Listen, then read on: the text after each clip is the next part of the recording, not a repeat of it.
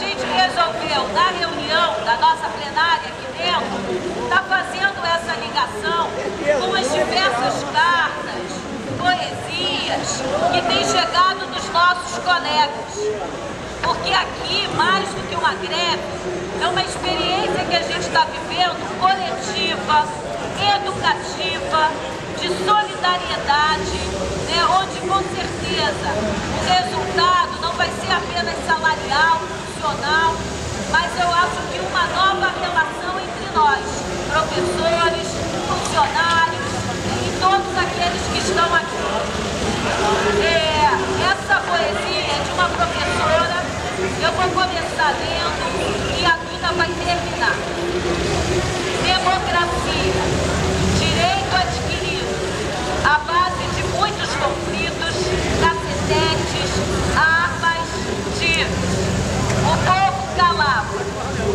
Em seco, aceitava. Mas há uma hora que o grito eclode e a vontade de mudar explode em revoltas, passeadas, guerras, sejam sangrentas ou pacíficas. O povo deve ter o direito da palavra ouvida, da mão estendida, da mudança que se faz necessária. Exploração, injustiça não devem acontecer. A luta é necessária. Alguém precisa se sacrificar em prol de uma massa que necessita respirar, depois de tanto sofrimento, ele reserva algo melhor. Um mundo um pouco mais justo, construído por braços fortes e corações puros.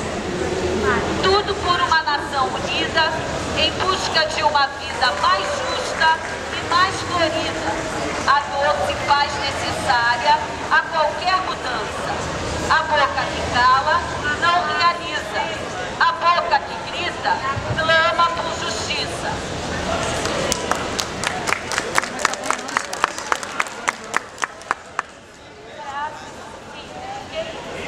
Em armas revolucionárias, bandeiras brancas, rosas suspensas. É preciso redescobrir um jeito diferente de estar em missão, fazer da voz um povo, a nação, justa, solidária igualdade, conquista, é a justiça feita. Poema escrito por uma companheira de guerra, Vera Lúcia Gomes Pós Bastos.